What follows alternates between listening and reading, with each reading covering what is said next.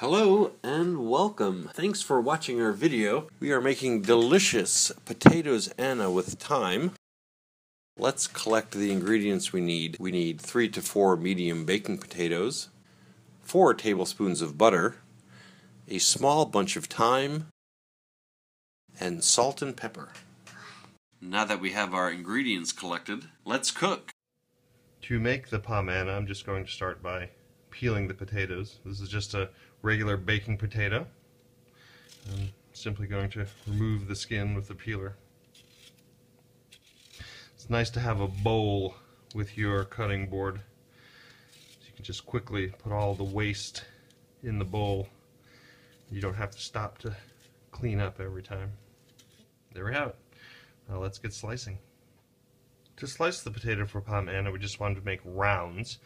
And the important thing to remember is to slice them evenly and thin.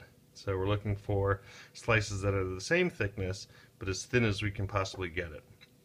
If you have a mandolin or a V-slicer, this is a perfect opportunity to use those tools. I'm going to use a chef's knife, and again, just trying to make sure that I get thin slices and slice them as evenly as I can.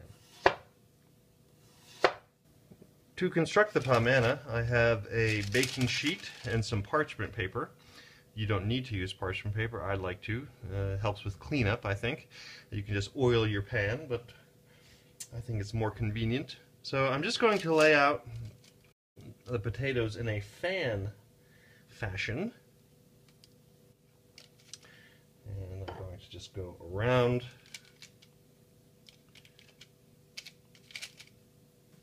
These pomme are going to have two layers. You can make them as thick as you'd like. It'll just affect the cooking time. I have a nice pattern. Then I have some butter. I just want to put a nice layer of butter. If you wanted to make these vegan, then simply use vegan margarine. I have a dash of salt,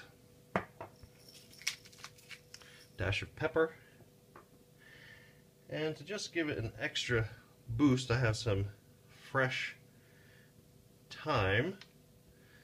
Just put a few little sprigs around. And then I'm going to repeat with another layer of potatoes.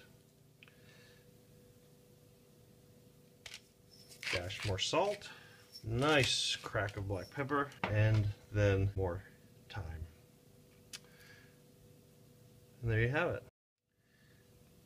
These pomme Anna are ready for the oven. I'm going to wrap the pan in foil and then put them in the oven at 400 degrees for about 30 minutes. These pomme Anna have just come out of the oven. I've removed the foil. They'll go back in the oven uncovered, 400 degrees, for about 25-30 minutes. We want to get them nice and golden brown, and we want to get the edges crispy. Tender on the inside, brown on the top, some crispy edges too. Beautiful and delicious pomme Anna.